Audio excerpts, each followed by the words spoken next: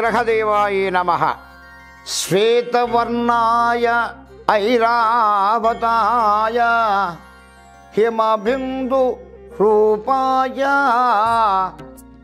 सम्पूर्णलक्ष्मीनिवासाय शुक्रग्रह देवताय नमो नमः। శుక్రగ్రహదేవత నమో నమ ముఖ్యంగా సంపూర్ణంగా సర్వకాల సర్వావస్థ సర్వ సమయంలో కూడాను గ్రహ దేవతల యొక్క అనుగ్రహం మీదనే మానవ జీవన గమనం జరుగుతుందనేటువంటి మాటల్ని ఎల్లప్పుడూ చెప్తుంటాను. మా భక్తులందరికీ కూడా దాన్ని వీక్షిస్తుంటారు. గ్రహం మూలం సర్వం జగత్తు అనేది నా నానుడి. దాన్ని అనుసరించి ఈరోజు అనగా రెండో తారీఖు నాలుగో నెల రెండు వేల ఇరవై ఒకటవ సంవత్సరం శుక్రవారం పంచమి మధ్యాహ్నం ఒంటి గంట ముప్పై నిమిషాలు తర్వాత పోతే షష్ఠి తిథి ప్రారంభమవుతున్నది. అనురాధ నక్షత్రం ఉదయం పది గంటల ఇరవై నిమిషముల వరకు ఆ తర్వాత జ్యేష్ఠ నక్షత్రం ప్రవా ప్రవేశం అవుతున్నది ఇక వర్జాన్ని ఒకతను మనం పరిశీలించినప్పుడు మూడు గంటల ముప్పై ఐదు నిమిషాల నుంచి ఐదు గంటల పది నిమిషాల వరకు కూడాను ఈ యొక్క వర్జం అనేది కొనసాగుతున్నది. దుర్ముహూర్తం ఉదయం ఎనిమిది గంటల ఇరవై నిమిషాల నుంచి తొమ్మిది గంటల ఇరవై నిమిషాల వరకు మళ్ళా మధ్యాహ్నం పన్నెండు గంటల ఇరవై నిమిషాల నుంచి ఒంటి గంట ఇరవై నిమిషాల వరకు కూడాను దుర్ముహూర్తం అనేది జరుగుతున్నది. ఇక రాహుకాలం ఈ శుక్రవారం మీ అందరూ తెలిసింది పది గంటల ముప్పై నిమిషాల నుంచి పన్నెండు గంటల వరకు ఎల్ల వెళ్ళ ఉంటుంది. అలాగే యమగండం అనేది ఉదయం అయిపోయిన తర్వాత మధ్యాహ్నం మూడు గంటల నుంచి నాలుగు గంటల ముప్పై నిమిషాల వరకు ఉంటుంది. గుళిక కాలం ఉదయం ఏడు గంటల ముప్పై నిమిషాల నుంచి తొమ్మిది గంటల వరకు కూడా ఉంటుంది. ఈ ఇప్పుడు చెప్పినటువంటి తిథి వార నక్షత్రములతో పాటుగా కూడా వర్జము దుర్ముహూర్తము రాహుకాలము యమగండము గుళిక కాలములు. ఈ కాలంలో ఇప్పుడు ఈ ఐదు అనేది ఏది చెప్పాను? ఈ ఐదు కా చెప్పిన ఈ సమయాల్లో ఆ చెప్పినటువంటి టయాలు చెప్పాను కదా ఆ టయాల్లో ఏ ఒక్క స్త్రీ పురుషులు ఏ రాశి వారు కానీ ఏ లగ్నం వారు కానీ ఏ నక్షత్రం వారు కానీ సర్వజనులు ఎవరైనా సరే నిత్యకృత్య కార్యక్రమాలు యథావిధిగా కొనసాగించుకోవచ్చు. కానీ ప్రత్యేకమైనటువంటి వివాహ వ్యాపార వ్యవసాయ ఆర్థిక మానసిక సాంఘిక విద్యా ఉద్యోగ సంతాన సౌభాగ్యాది సర్వకార్యములు నూతనంగా ఏదైనా మాట్లాడకుండా ప్రయాణించాలని నిషిద్ధము నిషిద్ధమో. ఇది గుర్తుపెట్టుకోవాలి. దీనికి ఎవరు ఎట్టి పరిస్థితులు కూడా ఆ టైంలో ఆచరించరాదు. దీని గురించి ఆలోచించవాకండి నిత్యకృత్యం జరిగేది ప్రయా యథావిధిగా కొనసాగి దానికి ఇవన్నీ పెట్టుకోకూడదు. మళ్ళీ అదే దాని మూఢనమ్మకాలకు వెళ్ళకూడదు శాస్త్రాన్ని అభాసం చేయకూడదు.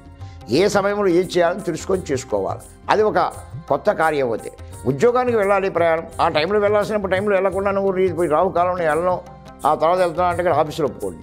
అలాగే కూడాను ప్రతి పనికి కూడాను ఈ రోజుల్లో నిత్యకృత్యం చేసేదానికి ఇవన్నీ నేను చెప్పిన యమగణం కానీ గుడికాలం కానీ దుర్ముహూర్తం కానీ వజ్యం కానీ రాహుకాలం కానీ వర్తించవు వర్తించాల్సిన అవసరం ఉండదు. దాని గురించి మీరు భయపడాల్సిన అవసరం నూతనంగా చేసేటువంటి పనులకు మాత్రమే ఈ సమయాలు నిషిద్ధమని మా సర్వ భక్తులకు కూడాను ఈ శుక్రవారం అయినటువంటి ఈ రెండవ తారీఖు నాలుగో నెల రెండు వేల ఇరవై ఒకటి రోజున మీకు తెలియజేస్తూ ఈ శుక్రవారం మనకు ఉన్నటువంటి ద్వాదశ రాశులు అనగా పన్నెండు రాశుల వారికి కూడా గ్రహ సంపత్తి ఎలా ఉండబోతున్నది దానికి ఏదైనా ఉన్నా దాని పరిహార పరిష్కారాన్ని ఎలా మనం జరిపించుకోవాలి ఆ పరిహార పరిష్కారంతో ఆ రోజు నిరంతరం ఉదయం నిద్రలేసిన నుంచి రాత్రి విశ్రమించే వరకు వారి యొక్క జీవన మార్గంలో జరిగేటువంటి ప్రతి పనిలో కూడాను ఏదైనా చిన్న ఆటంకములు వస్తున్న దాని నుంచి కొంతమేరైనా సరే వారు ఒక మంచి జరిగేదానికి చిన్న సహకారం.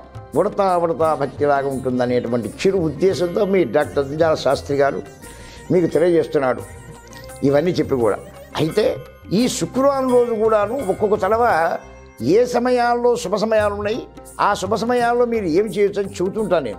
కానీ ఈ రోజును ప్రత్యేకించి చూసేటప్పుడు జ్యేష్ఠ నక్షత్రం వచ్చినప్పుడు తారాబలం చూసినా కూడా అంత సర్టెట్ కాదు. అనురాధ నక్షత్రం దర్శన సమయంలో చూడాలి చేద్దాం అన్నప్పుడు మిగతా ఉన్నటువంటి ఇప్పుడు నేను చెప్పినటువంటి దుర్ముహూర్తాలు ఏమగంటాలు తగిన వచ్చినాయి. లేదు అత్యవసర పరిస్థితి వచ్చి ఏదైనా మీరు శుభకార్యం చేయించుకోవాలి ఎక్కడికైనా ప్రయాణించాలనే అభిప్రాయం మీ మనసా వాచా మీకు కనుక కలిగితే అది తప్పని పరిస్థితిని కానీ అనే అభిప్రాయపడితే అక్కడ మీ గురుగారిని ఎవరైనా సరే ఫోన్ ద్వారా తీసుకొని ఏదైనా చిన్న చిన్న టైమ్స్ తీసుకొని హోరాకార సిద్ధాంతం అని ఒక సిద్ధాంతం ఉంటుంది. ఉదయం టు ఆరు నుంచి ఏడు గంటల వరకు కూడాను శుక్ర హోరాన్ని అని జరుగుతుంది. ఆ టైంలో అంటే చేసే పని బట్టి వ్యాపారం చేయగలిగితే బుధహోరలో వెళ్ళాలి ఏదైనా ఎవరితో మాట్లాడే గురుహోరలో వెళ్ళాలి అగ్ని సంబంధించిన కుజహోరలో చేయాలి ఇట్లా విధానాలు ఉంటాయి. అది మీ గురువులు ఎవరైనా సరే అడిగితే చెప్తారు తెలుసుకోండి. లేదా నన్ను సంబంధించి దానికి ప్రయత్నం చేసినా కూడా మీరు తెలియజేస్తే దానికి నా వంతు కృషి నేను చేస్తాను. సరే ఇది మనకున్న శుక్రవారం ఉన్నటువంటి తిదివార నక్షత్ర యోగకరణాల గురించి వివరంగా మీకు ముందు ఉంచానమాట ఇక తర్వాత మనకున్నటువంటి ద్వాదశ రాశి గురించి ఆలోచిద్దాం.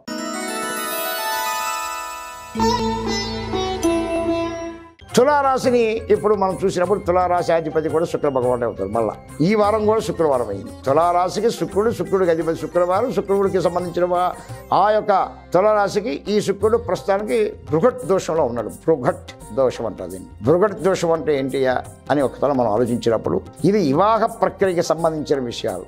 వయో వయసు వచ్చి ఈ సమయంలో మనం ఏదైనా వివాహం చేయాల్సినటువంటి స్త్రీ పురుషులు ఎవరైనా సరే ఇబ్బంది ఎదుర్కొనే అవకాశం వస్తుంది. అలాగే చిన్నపిల్లలుగా ఉన్నటువంటి స్త్రీ పురుషులు మా విద్యార్థిని విద్యార్థులు ఎవరికున్నా సరే వారి వారి యొక్క సన్నిహితులు అనేటువంటి వారు అంటే బంధువర్గంలో ఉండేటువంటి సన్నిహితుల వల్ల ఏదో తెలియనటువంటి రాగద్వేషాల ప్రభావితం మీద చిన్న మనస్సు కలక్కమనేట్టుగా ఇబ్బంది వచ్చేటువంటి అవకాశం మా తులారాశికి శుక్రవారం కలిగేదానికి అవకాశం ఉంది. అయితే ఇంకా డాక్టర్ జంజాల శాస్త్రి చెప్పేప్పుడు ఇప్పుడు కూడా ఒక మాట చెప్తున్నా గుర్తుపెట్టుకోండి.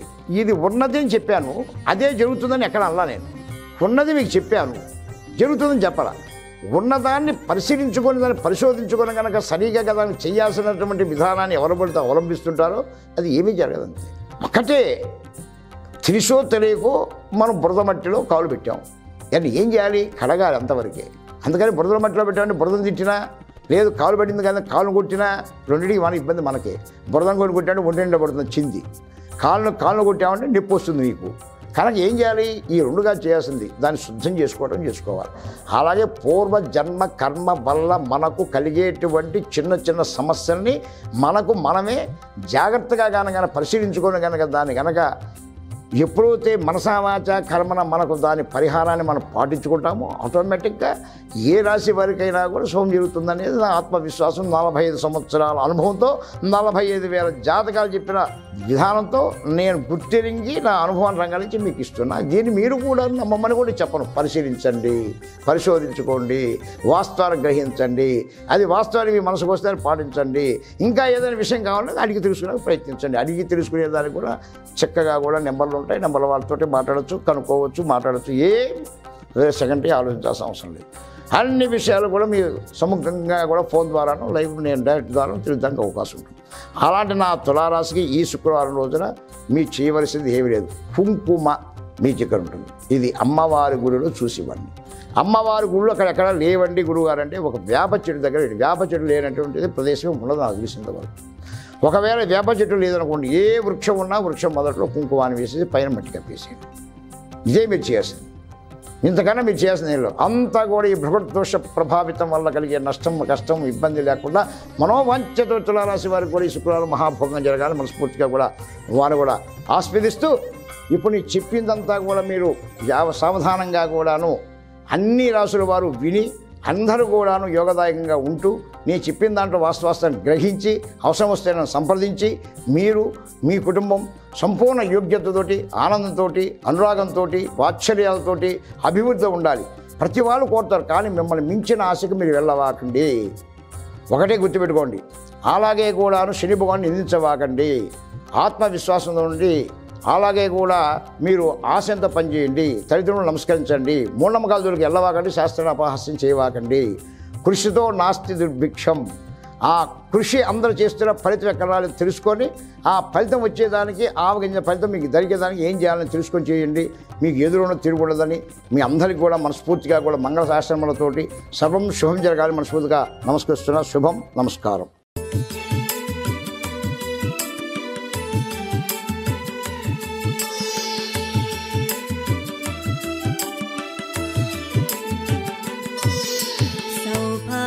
que adelante.